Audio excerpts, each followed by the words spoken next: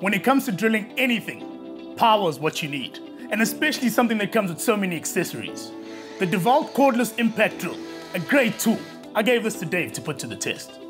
It's a brushless drill that provides all the power and quality you'd expect from a DeWalt. It easily drills into wood, steel, and masonry. With two gear settings and a variable speed trigger, giving you all the control you need in forward and reverse.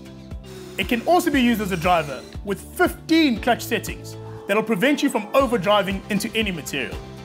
It's comfortable, lightweight, and has a keyless chuck for easy bit changes. It also has a work light for those low lighting conditions.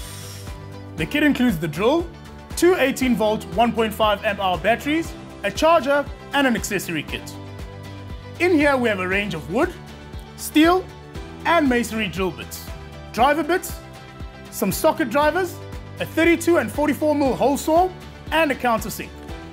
And all of this is stored in a neat TSTAK box with a pull-out drawer for accessories. Now this is just one of the cordless impact drills available at Builders. For more, visit the Builders website or follow the YouTube channel.